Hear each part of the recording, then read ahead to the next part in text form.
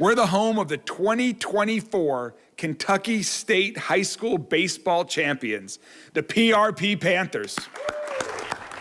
New at noon, Louisville Mayor Craig Greenberg honored PRP's championship winning baseball team this morning at Metro Hall. He proclaimed today PRP State Champions Day in the city. The Panthers beat McCracken County for the title last month in Lexington. It was the seventh state title in program history.